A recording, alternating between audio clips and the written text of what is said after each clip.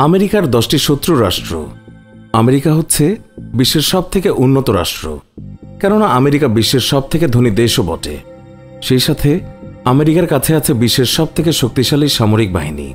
কিন্তু যদি বলা হয় কোন দেশের শত্রু সব থেকে বেশি, তাহলেও আমেরিকার নামটি চলে আসবে সবার প্রথমেই। আপনারা হয়তো সবাই লক্ষ্য করেছেন, সারা বছরে আমেরিকা কোথাও না কোথাও তারা যুদ্ধে জড়িয়ে আছে। আবার আমেরিকার প্রত্যেকটি প্রেসিডেন্টই নতুন করে যুদ্ধ শুরু করে। তাই প্রতিনিয়ত আমেরিকার শত্রু সংখ্যা বাড়িয়েই চলছে। তবে আমেরিকার এইসব শত্রু, তারা আমেরিকায় পারমাণবিক হামলা সহ বড় ধরনের ক্ষতি করতে পারে। আবার এইসব রাষ্ট্রের কারও কারও কাছে আমেরিকার পতনও ঘটতে পারে। আমাদের আজকের এই ভিডিওতে থাকছে আমেরিকার চরম শত্রু, দশটি রাষ্ট্রের পরিচয়। শত্রুতার কারণ এবং এইসব রাষ্ট্রের দ্বারা ভবিষ্যতে আমেরিকা কী ধরনের ক্ষতির শিকার হতে পারে সেই সব বিষয়ে অতীত এবং ভবিষ্যৎ নিয়ে বিশ্লেষণ এবং নানা অজানাকে জানতে আমাদের ভিডিওটি শেষ পর্যন্ত অবশ্যই দেখুন। এক, ফিলিস্তিন। ফিলিস্তিনের এক নম্বর শত্রু হচ্ছে আমেরিকা। অনেকেই অবাক হবেন এটা ভেবে যে ইসরায়েল থাকতে আমেরিকা কীভাবে ফিলিস্তিনের এক নম্বর শত্রু হতে পারে। উত্তর হচ্ছে, ইসরায়েল রাষ্ট্রের কোনো অস্তিত্বই ফিলিস্তিনিদের কাছে নেই। বরং আমেরিকার ইন্ধনে প্রভাবশালী ইহুদি সম্প্রদায় ইসরায়েল রাষ্ট্র বানিয়ে ফিলিস্তিনিদের উপর আগ্রাসন চালাচ্ছে। আমেরিকা ইসরায়েলের সেই জন্মলগ্ন থেকেই তাদেরকে রাজনৈতিক সমর্থন দিয়ে আসছে। সর্বশেষ আমেরিকার প্রেসিডেন্ট ডোনাল্ড ট্রাম্প জেরুজালেমকে ইসরায়েলের রাজধানী বানিয়ে ফিলিস্তিনিদের মনে তীব্র ক্ষোভের জন্ম দিয়েছেন। ডোনাল্ড ট্রাম্পের জেরুজালেমকে ইসরায়েলের রাজধানী ঘোষণা করার ঘটনাটি স্পষ্ট করে ইসরায়েল কতটা আমেরিকার উপর নির্ভরশীল। রাজনৈতিক সমর্থন ছাড়াও ইসরায়েলকে আমেরিকার সামরিক সমর্থনও দিয়ে থাকে। এখন পর্যন্ত প্রায় দেড়শো বিলিয়ন মার্কিন ডলারের অস্ত্র আর মিসাইল সহায়তা দিয়েছে আমেরিকা। আমেরিকা এই দেড়শো বিলিয়ন ডলার ইসরায়েলকে ফ্রিতে দিয়েছে। আমেরিকার কাছে থেকে পাওয়া এইসব অস্ত্র নিয়ে ফিলিস্তিনিদের উপরে ভয়ঙ্কর আগ্রাসন চালাচ্ছে ইসরায়েল। তবে ফিলিস্তিনিদের হামাস ইসরায়েল এবং আমেরিকার জন্য দুশ্চিন্তার প্রধান কারণ। দুই, ইরান। এই মুহূর্তে আমেরিকার সবচেয়ে আলোচিত শত্রু হচ্ছে ইরান। একসময় ইরান আমেরিকার মিত্র থাকলেও ইসলামী বিপ্লবের পর থেকে আমেরিকা শত্রুতে পরিণত হয়। ইরাক ইরান যুদ্ধ লাগিয়ে ইরানকে পঙ্গু বানানোর চেষ্টাও করেছিল আমেরিকা। এতে ব্যর্থ হয়ে পারমাণবিক গবেষণাকে ইস্যু বানিয়ে ইরানের উপর দীর্ঘ অবরোধ আরোপ করে। মূলত ইরানের বিশাল তেল ভাণ্ডারে আমেরিকার চোখ পড়েছে। তবে কোনো কিছু করেই ইরানকে তারা দমাতে পারেনি। উল্টো ইরান সামরিক শক্তি এবং তথ্য প্রযুক্তিতে অনেক বেশি উন্নতি করেছে। পারস্য সাগর এবং মধ্যপ্রাচ্য থেকে ইরান আমেরিকার প্রভাব ক্রমাগতই কমাচ্ছে। তিন, উত্তর কোরিয়া। এই মুহূর্তে যদি কোনো দেশে পারমাণবিক হামলার ঘটনা ঘটে, তবে সেই দেশটি হবে আমেরিকা। আর যে দেশটি আমেরিকায় পারমাণবিক হামলা করবে, সেই দেশটি হচ্ছে নিঃসন্দেহে উত্তর কোরিয়া। কেননা আমেরিকা উত্তর কোরিয়াকে এমন এক জায়গায় নিয়ে গিয়েছে যে উত্তর কোরিয়ার আর নতুন কিছু হারানোর নেই। এছাড়া উত্তর কোরিয়া তারা কোনো কিছুর পরোয়াও করে না। এমনকি পারমাণবিক হামলার জন্য যেই পাগলামি দরকার সেটা উত্তর কোরিয়ার প্রেসিডেন্ট কিম জং উনের একটু বেশি রয়েছে। কোরীয় যুদ্ধের সময় থেকে আমেরিকা উত্তর কোরিয়ার এক নম্বর শত্রু। উত্তর কোরিয়ার ওপর অবরোধ আরোপ করতে করতেই উত্তর কোরিয়াতে দুর্ভিক্ষ তৈরি করেছে আমেরিকা। উত্তর কোরিয়ার হাতে রয়েছে হসং ফিফটিন মিসাইল। আর এই মিসাইলদের তিরিশ থেকে চল্লিশ মিনিটেই আমেরিকার যে কোনো স্থানে পারমাণবিক হামলা করতে পারে।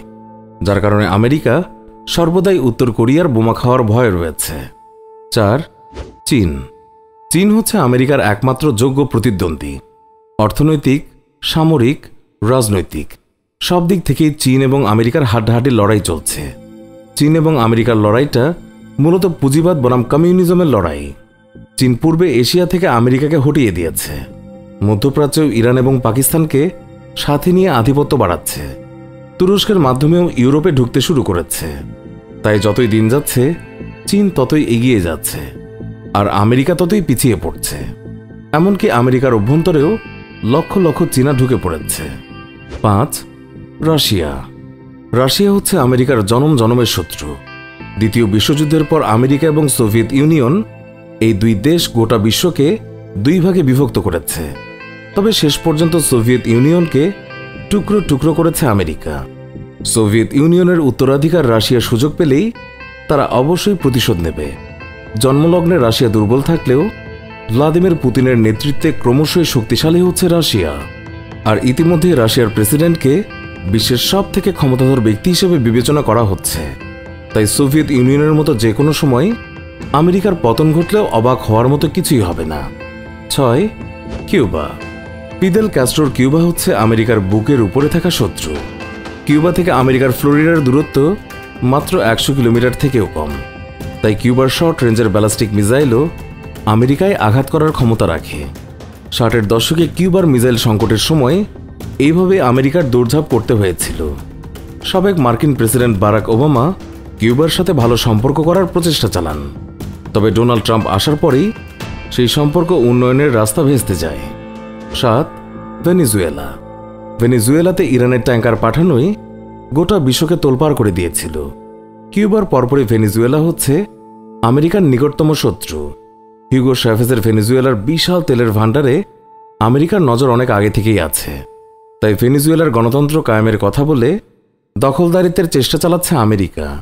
তবে চীন এবং ইরান ভেনিজুয়েলাতে তাদের প্রভাব বাড়াচ্ছে, যেটা আমেরিকার জন্য সত্যিই দুশ্চিন্তার। আট, সার্বিয়া। সার্বিয়া হচ্ছে ইউরোপের একমাত্র দেশ, যেখানে আমেরিকা দ্বিতীয় বিশ্বযুদ্ধের পর সরাসরি যুদ্ধ করেছে। ইউগোস্লাভিয়ায় যুদ্ধের সময় সার্বিয়াতে ব্যাপকভাবে বোমা ফেলে আমেরিকা এবং ন্যাটো ওই সময় সার্বিয়াতে বোমিংয়ে চীনের দূতাবাস ধ্বংস এবং একজন চীনা কূটনৈতিক নিহত হয়। নব্বইয়ের দশক থেকে আমেরিকা এবং ন্যাটো সার্বিয়ার প্রধান শত্রু। নয়, ইরাক। সাবেক মার্কিন প্রেসিডেন্ট জর্জ বুশের প্রতি ইরাকি সাংবাদিকের জুতা নিক্ষেপই প্রমাণ করে যে আমেরিকাকে তারা কতটা ঘৃণা করে। ইরাকে সরাসরি দুটো যুদ্ধ করে ধনী ইরাকের ধ্বংসস্তূপে পরিণত করেছে আমেরিকা। সেই সাথে চলেছে বেসুমার লুটপাট, আমেরিকার আক্রমণ আর লুটপাট। এতেই নিঃস্ব হয়েছে ইরাক।